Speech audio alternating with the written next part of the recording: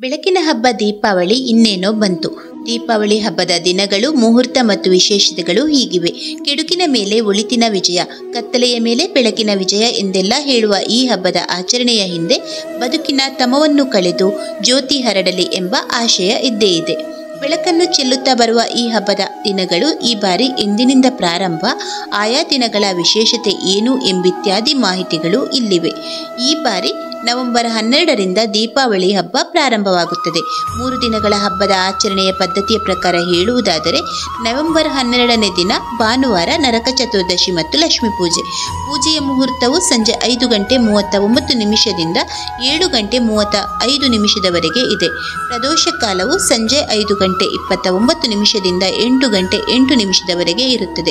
ಹದಿಮೂರರಂದು ಅಮಾವಾಸ್ಯೆ, ಹದಿನಾಲ್ಕರಂದು ಬಲಿಪಾಡ್ಯಮಿ. ನರಕ ಚತುರ್ದಶಿ.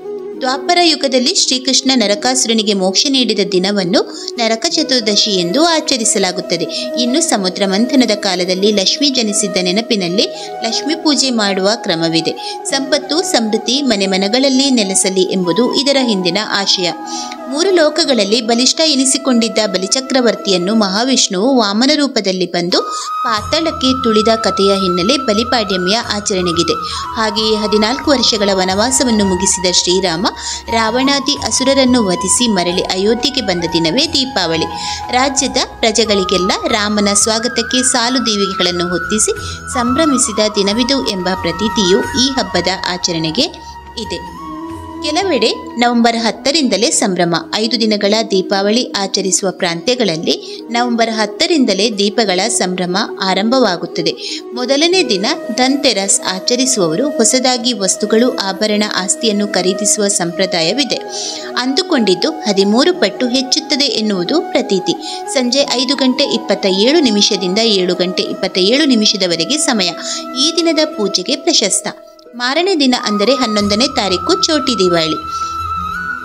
ಹನ್ನೆರಡರಂದು ಸಂಜೆ ಅಮಾವಾಸ್ಯೆ ಪ್ರದೇಶಕ್ಕೆ ಲಕ್ಷ್ಮೀ ಪೂಜೆ.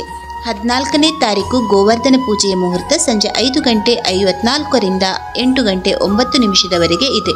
ಐದನೇ ದಿನ ಹದಿನೈದಕ್ಕೆ ಅಣ್ಣ ತಂಗಿಯರ ಹಬ್ಬವಾಗಿ ಬಾಯ್ ದೂಜ್ ಆಚರಿಸುತ್ತಾರೆ. ಅಂದು ಮಧ್ಯಾಹ್ನ ಹನ್ನೆರಡು ಗಂಟೆ ಮೂವತ್ತ ಎಂಟು ನಿಮಿಷದಿಂದ ಎರಡು ಗಂಟೆ ಐವತ್ತ ಮೂರು ನಿಮಿಷದವರೆಗೆ ಸಮಯ ಪೂಜೆಗೆ ಸೂಕ್ತ ಎನ್ನಲಾಗಿದೆ. ಇನ್ನು ಸಿಹಿ ಹಂಚಿಕೆ. ಬಂಧು ಮಿತ್ರರಿಗೆ ಸಿಹಿ ಹಂಚುವುದು, ಉಡುಗೊರೆಗಳನ್ನು ನೀಡುವುದು ಸಾಮಾನ್ಯವಾಗಿ ಎಲ್ಲೆಡೆ ಕಂಡುಬರುತ್ತದೆ. ಕತ್ತಲೆಯ ರಾತ್ರಿಗಳನ್ನು ಬೆಳಗಿಸುವಂತಹ ಹಣತೆಗಳು, ಆಕಾಶ ಬುಟ್ಟಿಗಳು ಲೋಕವನ್ನೆಲ್ಲ ಬೆಳಗುವಂತೆ ಭಾಸವಾಗುತ್ತದೆ. ಇವೆಲ್ಲವುಗಳ ನಡುವೆ ಉಮೇದುವಾರರ ಪಟಾಕಿಗಳು ಶಬ್ದ ಮಾಡುತ್ತಿರುತ್ತವೆ. ಹಲವು ತಿಂಗಳುಗಳಿಂದ ನಡೆದು ಬರುತ್ತಿದ್ದ ಹಬ್ಬಗಳ ಸಾಲಿಗೊಂದು ಬೆಳಕಿನ ಸಮಾರೋಪದಂತೆ ದೀಪಾವಳಿ ಕಂಗಳಿಸುತ್ತಿದೆ. ಆಲಿಸಿದ್ದಕ್ಕಾಗಿ ಧನ್ಯವಾದಗಳು.